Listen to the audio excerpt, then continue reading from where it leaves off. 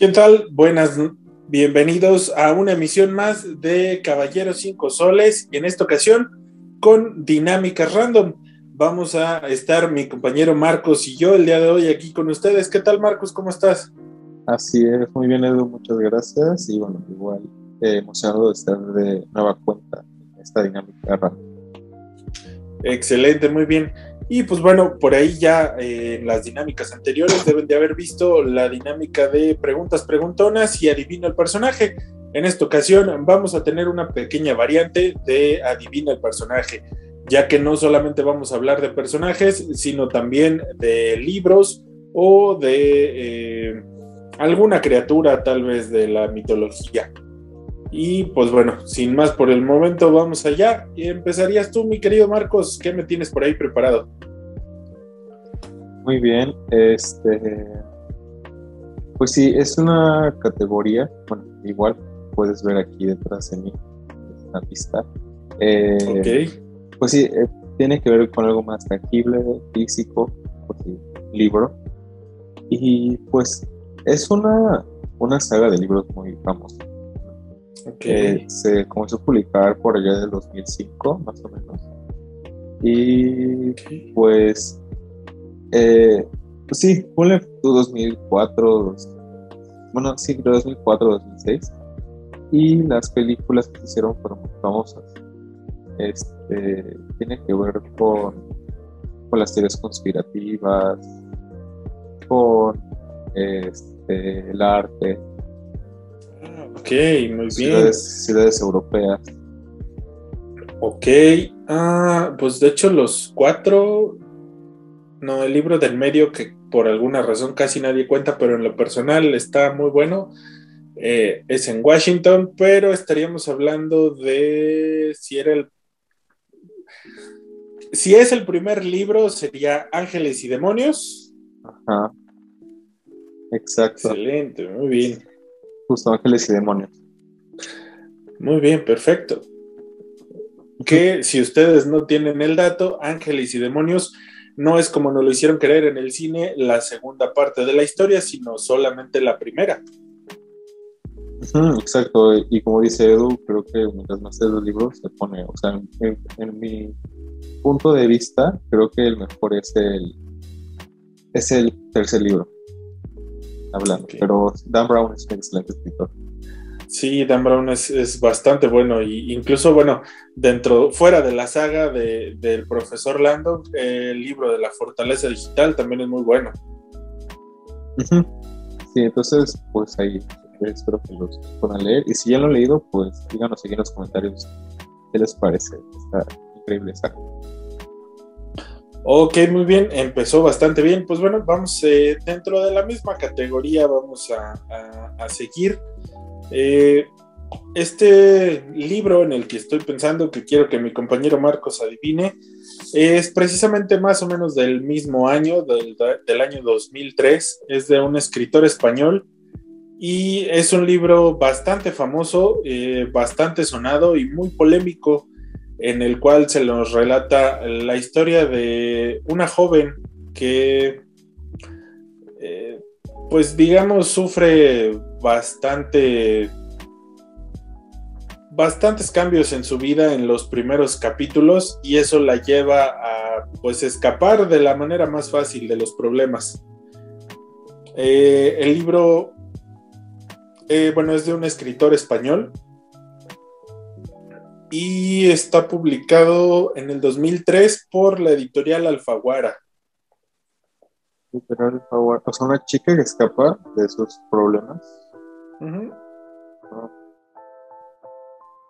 Ok, no es como nuestra. Ay, ¿cómo se llama esta? Nuestra. Ah, ay, Dios.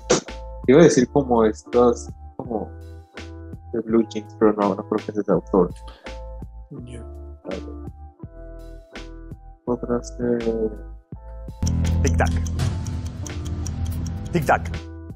Ay, no, a ver, una otra pista. O sea, creo que. Eh, como pista, el.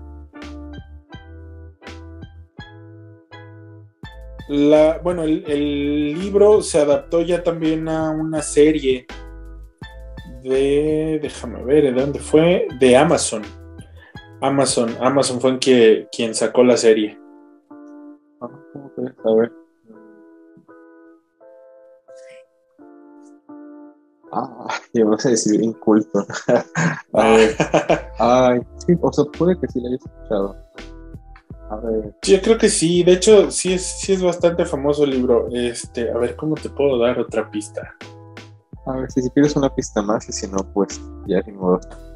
Ok, bueno, la chica eh, huye de, su familia, huye de sus problemas, se cambia el nombre y jura que nunca va a regresar a su país, a su familia pero eh, se entera de, una, de un acontecimiento bastante malo que sucede tiempo después y es lo que la hace volver y es donde se nos presenta un personaje que resulta ser eh, el título del libro precisamente. Iba a decir la chica del tatuaje dorado, bueno, del tatuaje, algo así, pero creo que no es esa, ¿verdad? Nope. O perdida, por ejemplo, Gonger podría ser. Eh, no. Bueno, no, porque Gonger no es de, sí, de, no es de España. escritor español. Ay, no, pues me rindo.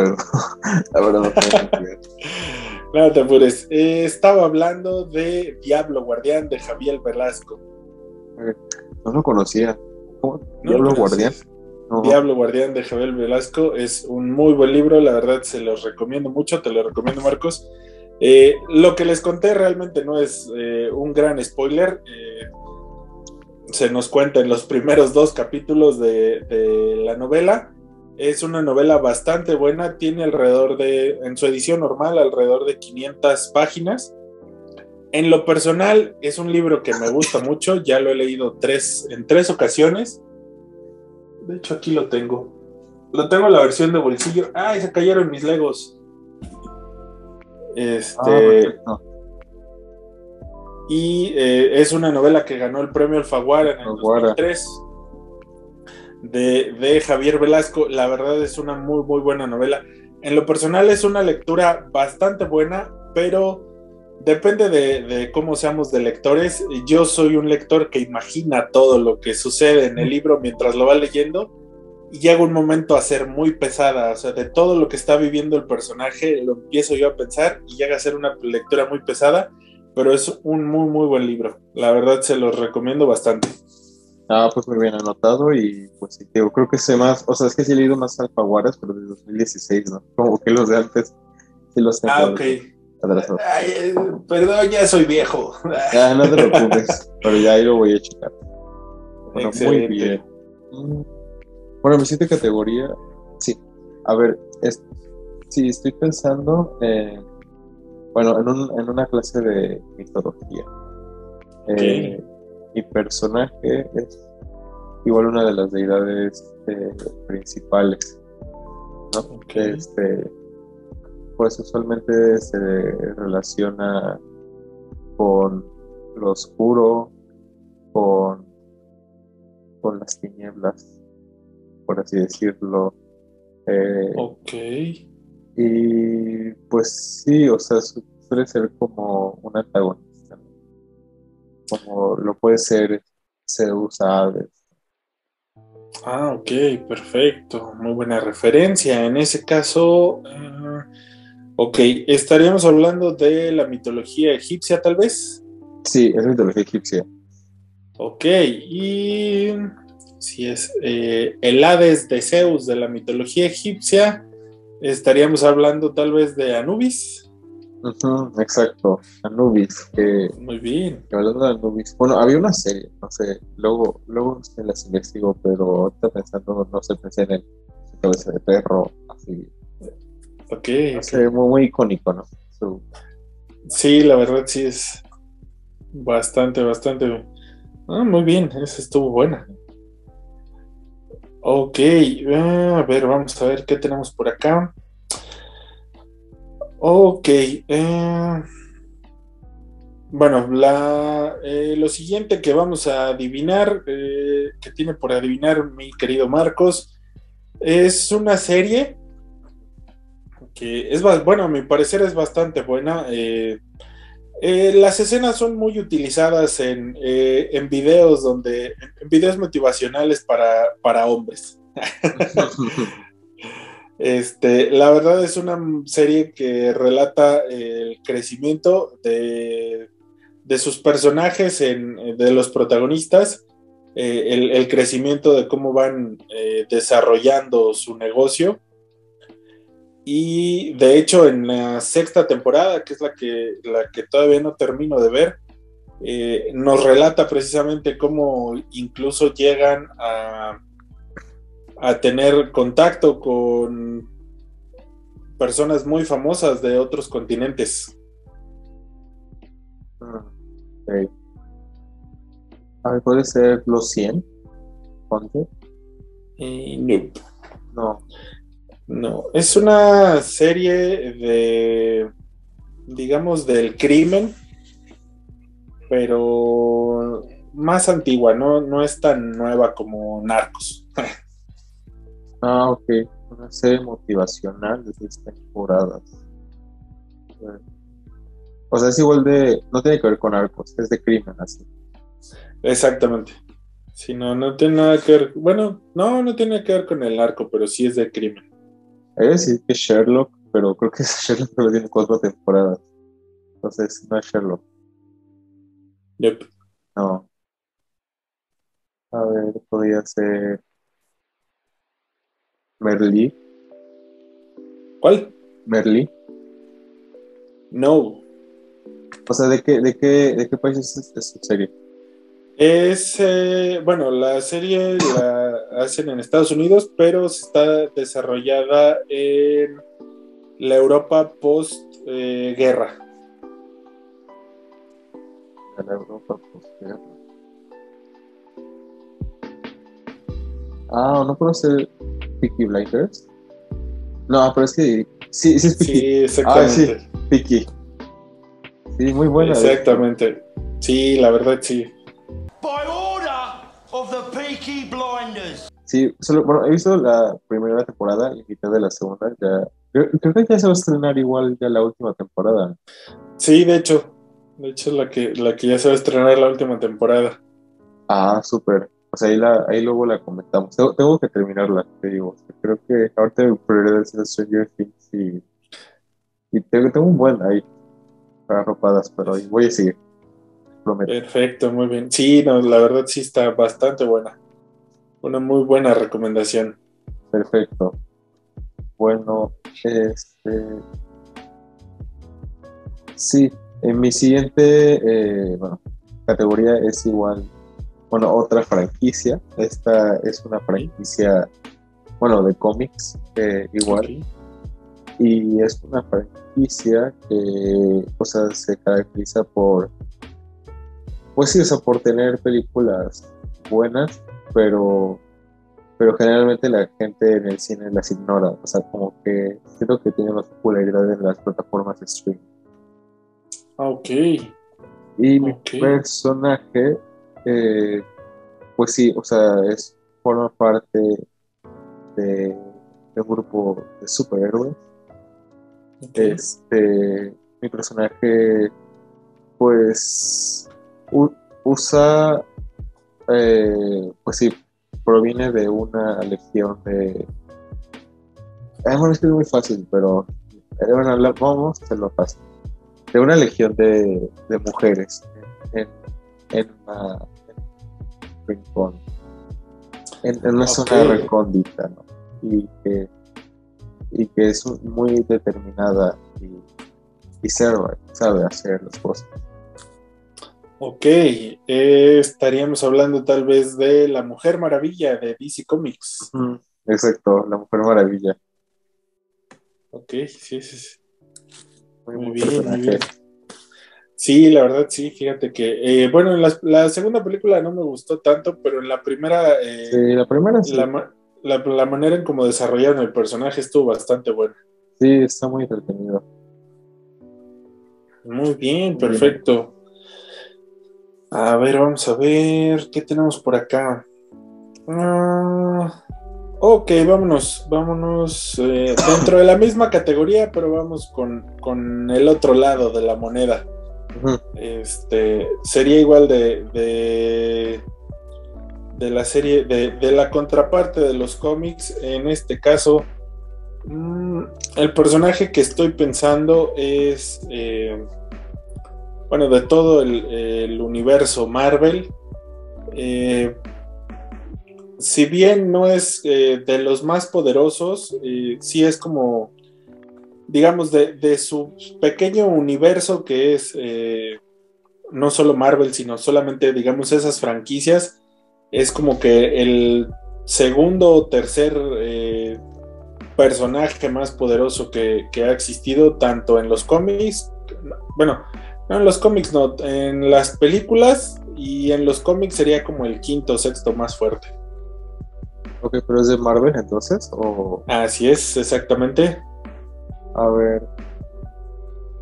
Eh, de personaje, por, ejemplo, podría ser la Capitana Marvel. Y Noob. No, a ver. A ver, sí que son poderosos. Podría ser Thanos, por ejemplo. Ah, está cerca. Cerca, ok. Ay, sí, este Tipo, creo que sí dice que. Ah, no es, no es una Galactus, creo. O sea, el, eh. el gigante ese. El devorador de devorador planetas. de planetas, ¿no? Podría ser Galactus. Sí, ¿no? Exactamente, sí, sí, sí, sí. Ah, súper. Sí, pero, pero no le si sería él y luego Thanos, ¿no? Que no, no recuerdo muy bien. Sí, de hecho, bueno, eh, Galactus como tal es como una deidad, pero bueno, de no sé realmente dentro de la historia de Galactus, no lo he checado bien, pero no sé si sea como una especie de celestial también o algo por el estilo. Pero pues sí, los, digamos, los primeros o los más poderosos, pues serían los celestiales, precisamente. Ah, cierto. Bueno, pues ahí Ah, pues creo que va a haber película hablando. Sí, de hecho, ¿no? Ah, pues ahí tenemos que comentarlo. Muy bien. Muy bien. Bueno, ya, ya casi acabo. Faltan ya tres, sí, dos categorías. Sí, exactamente. Este, bueno, mi personaje, sí, es igual una mitología. Una mitología especial, característica del subcontinente del americano. Y, y, es una, una deidad poderosa. Una, deidad que se caracterizó porque los templos que le hacían en, el, en, el sur de nuestro país eh, se creía que tenía poderes y guiaba los astros. Ok. Mm. Ok, muy bien, buena pregunta. A ver, sería entonces, bueno, en ese caso estaríamos hablando de la mitología o la cultura prehispánica. Es la mitología prehispánica. Ok, a ver, vamos a ver.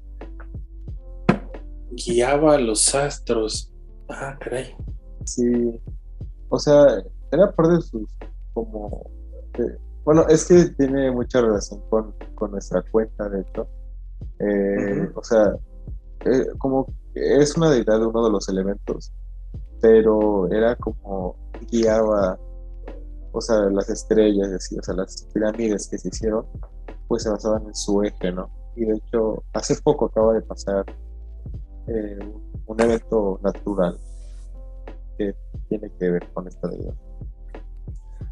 Ah, ok. Eh, en ese caso sería lo más reciente de, del fenómenos naturales, sería tal vez el equinoccio de primavera. exacto. Y estaríamos hablando de... ¡Ay, cómo se llama! Me van a matar. Ay, no me despidan. Este. no, es que también pensé eh, en el buen Ketsi, pero. Mm. Este. Es que, o sea, sí, pero tiene otro nombre en, otra, en, esta otra cultura, ¿no? Ay, ¿cómo se llama? ¿Cómo se llama? Con, qué?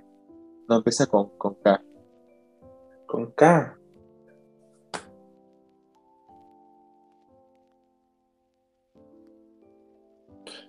Oh. No. ¿Sí? ¿Sí será Cuculcán? Sí. Sí, Cuculcán. Aquí nuestro equivalente de nuestro poderoso Quetzal, el Caballero Cinco Soles. Pero pues bueno, aquí esta es su versión maya, ¿no? Que digo, al final son lo mismo, pero o sea, sí, sí, lo curioso es que los mayas lo hacían con las pirámides, ¿no? Y en Chichen pues creo que es un claro ejemplo. Sí, sí, sí. Claramente sí, es cierto. Sí, ahí cuando puedan ir, queridos suscriptores, a, no sé, así Chaltún o Chichen o, bueno, muchas pirámides en el sur de Yucatán, aquí en nuestro país. Pues, Exactamente. Es una experiencia muy bella. Muy bien, excelente. Mm, ya aprendimos algo nuevo. Sí. Muy bien. A ver, vamos a ver. Por aquí, eh, lo siguiente que tengo es eh, un personaje de una de mis sagas favoritas. Ya, ya, ya me he caracterizado ante nuestros suscriptores como uno de los más fieles seguidores de esta saga. Desde mi punto de vista las películas son muy buenas, pero los libros obviamente, como en todo, van a ser mucho mejores. Pero bueno, vamos a ver dentro de todo este universo. Eh, vamos a, hacer que nuestro querido Marcos adivine un personaje que tiene bastante relevancia en las primeras, bueno, no, en la primera no tanto, en la segunda y tercera segunda y cuarta película tiene bastante relevancia este personaje. De hecho, eh, se dice entre los, los, blogs de internet que la palabra, el, hechizo, el hechizo asesino, bueno, ya te dije de dónde es. Ajá. este, el, el hechizo asesino no estaba todavía escrito cuando él ya lo había pronunciado. Ok. Eh, pues sí, es, sería de nuestra queridísima Harry Potter, ¿no? Exactamente. pues, o sea, por lo que mencionas, es un mortífago, ¿no? Ok. A ver, vas por ahí. no sé. O sea, diría que el mortífago líder, pero no, no estoy tan seguro. Eh, el que no debe ser nombrado Voldemort, ¿o no? Eh, no, no, no, no. O sea, es un poco antes, ¿no? Ajá. Sí, sí, no. De hecho, él tiene relevancia, tiene más relevancia en la segunda película, es donde, como donde lo vemos más y de hecho donde nos lo presentan la primera vez que aparece este personaje. Ah, ok. O bueno, Tom Riddle, pero no. este, por ejemplo, Slytherin, eh, Salazar Slytherin. No. No, es, es un personaje, digamos, actual dentro de dentro del universo. Ah, ok. Ah, no, eh, o sea, Grindelwald. Y no, no, también ese ya es de antes. Ya es de antes. A ver, algo más actual. Sí, es, digamos, es de la, de la época exactamente de, de, Harry Potter en ese momento. Este, bueno, yo siento que tuvo más relevancia en, la, en las películas en la 1 y en la 4, que es donde ¿Sí es la 4?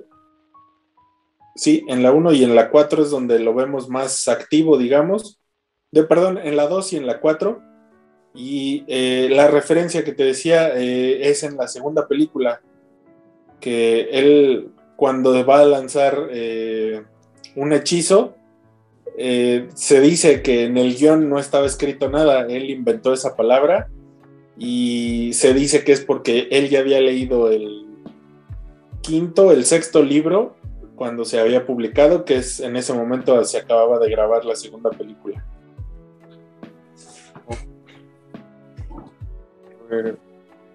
Peach, pero no. No, Filch es un squid, no puede ser. Es, es un squid, no, no puede. A ver. Lucius Malfoy, pero no creo. Exactamente, sí. Es Lucius, sí, ¿no? sí, sí. Sí, exactamente, ah, que es cuando. creo, ¿no? Cuando libera a Harry Potter a Ruby él eh, dice el, el Avada, pero se supone que ahí todavía no estaba escrito el hechizo, En, ah. los libros. Ah, qué padre, no, no recordaba. Pero bueno, qué bueno que, sí, qué padre. Muy bien, a ver, vamos a ver qué tenemos por allá. Sí, sí, justo es mi, mi última. A ver. Bueno, otra vez, otro otro maravilloso artefacto que está en, mis espaldas, juego de papel y letras. Y sí, este libro es un poco más actual, de hecho. Eh, tuvo, su película en 2019. Eh, sí, no, 2018, disculpa. Ok. Y es acerca de, videojuegos. Este. Hmm. O sea, eh, trata de una realidad virtual. Ok. En que pues, las personas que no pueden estar, bueno, en el mundo real, tienen que conectarse a esa realidad virtual. Es, se vuelve muy famosa. Y, de hecho, un ah, director muy afamado dirigió esa película. Ok, ok, déjame checar porque empecé pensando en Ready Player One, pero no, entonces. No, sí, justo. ¿Sí es? Sí, la tiene 100. Sí, justo, de Ernest, Ernest Klein. Ernest Klein. Ajá, sí, muy, muy buen libro y de hecho la dirigió, bueno, la peli ya Steven Spielberg, ¿no? Sí, sí, sí. Sí, que es muy buena. Bueno, no sé si ustedes ya la han visto. Bueno, sí, sí, pues cuéntenos. Porque, bueno, a mí se me hizo una peli muy buena. O sea, el libro es mucho mejor, ¿no? Pero. Sí, la verdad sí está muy, muy bueno. Sí. Ya como el homenaje que le rinden a los personajes, vale mucho la pena. Sí, la verdad que sí está muy padre. Excelente, muy bien. Y pues bueno, vamos acá también con la última. Y sería también una de mis sagas favoritas en este caso. Pero eh, bueno, esta no está basada en libros, es totalmente eh, obra y arte de, del buen Lucas. De, del buen Lucas. Y estaríamos hablando de un personaje, bueno, estoy hablando de un personaje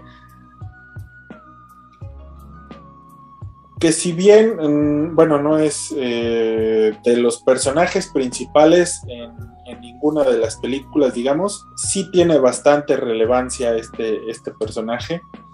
Este, y de hecho aparece en, si no me equivoco, aparece en todas las películas en, todas las películas aparece y aunque no es de los personajes principales, sí es un personaje que tiene bastante relevancia.